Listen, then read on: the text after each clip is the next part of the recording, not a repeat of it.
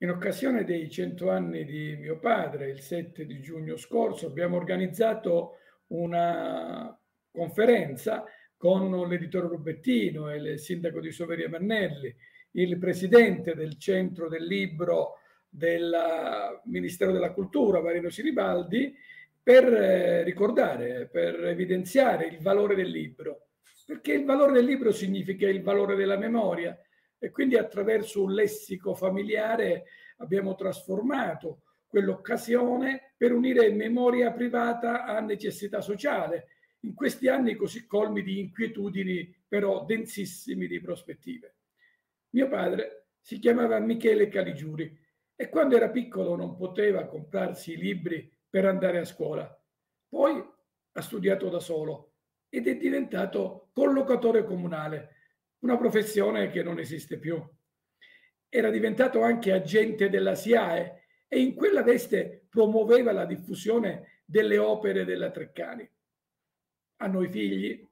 eravamo due, Luigi ed io, ora sono rimasto solo, ha sempre detto una cosa, studiate. E insieme a tanti altri libri ci aveva comprato il dizionario enciclopedico della Treccani, è il facsimile dell'Actanzi Firmiani Opera, il primo libro stampato in Italia nel monastero benedettino di Subiaco nel 1465.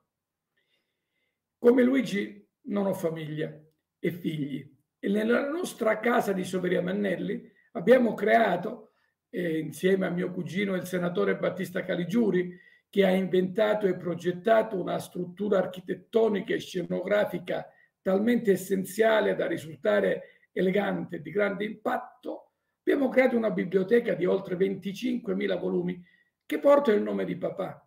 inaugurata l'11 luglio del 2015 da Vittorio Sgarbi, che ha sempre avuto il culto dei genitori, e che è stata benedetta dal vescovo emerito di Lamezia Terme Vincenzo Rimedio, che aveva officiato le esequie di mio padre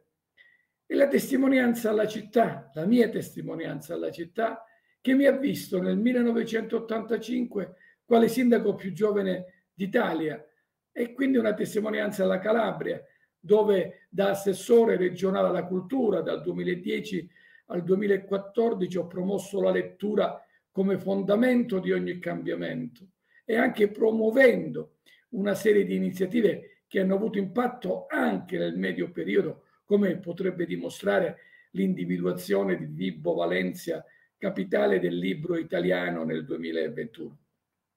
La biblioteca Michele Caligiuri, come sua missione, intende promuovere la lettura come dovere civile in una regione che potrebbe riscattarsi attraverso la cultura. Certo, non è un problema all'ordine del giorno, perché occorre tempo. L'anniversario di oggi può essere quindi utile. L'intervista di oggi è utile per avviare riflessioni sul futuro del sud e del paese, partendo proprio dal libro, un oggetto che sembra fuori moda nella società dell'algoritmo sovrano, ma che invece può risultare più utile che mai. Quindi